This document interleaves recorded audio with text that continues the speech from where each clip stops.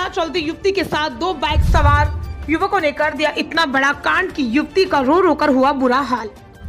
Mobile chain और purse snatching करने वाले जयपुर शहर में गिरोह सक्रिय है। आए दिन अलग अलग थाना क्षेत्रों में झपटमारी की घटनाएँ सामने आ रही है। ऐसा ही एक मामला सामने आया हरवाड़ा थाना इलाके में, जहाँ बदमाशों ने एक बार फिर 20 वर्षीय की किशोरी का मोबाइल फ़ोन छीन फरार हो गए।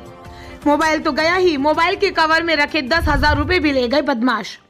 पीड़िता की ओर से हरवाड़ा थाने में मामला दर्ज कराया है। पुलिस मामले की जाँच कर रही है।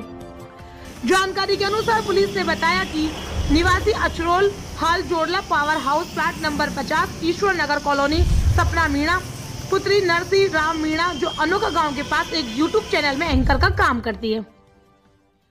जहाँ शनिवार शाम करीब साढ़े छह बजे ऑफ़िस की छुट्टी होने के बाद ऑफ़िस के नीचे जाकर ऑफ़िस को लॉक कर रही थी। वहीं पहले से मोटरसाइकिल पर दो लड़के खड़े थे, जहाँ स्थापना मीणा और उसकी सहेली मोबाइल पर बात करते हुए जा रही थी।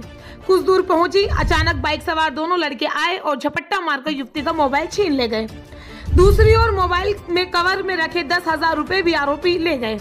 युवती का कहना है कि काले रंग की स्प्लेंडर मोटरसाइकिल की, जहाँ एक युवक को अपना चेहरा उसके सामने बंधा रखा था और दूसरा उसके पीछे बैठा था, जहाँ पीछे बैठे लड़के ने झपट्टा मारकर मोबाइल छीन ले गया। इस संबंध में युवती ने थाने में मामला दर्ज करवाया है। पुलिस ने मामला दर्ज कर जाँच शुरू कर दी है और आसपास लगे सीसीटीवी फुटेज खंगाल रही है।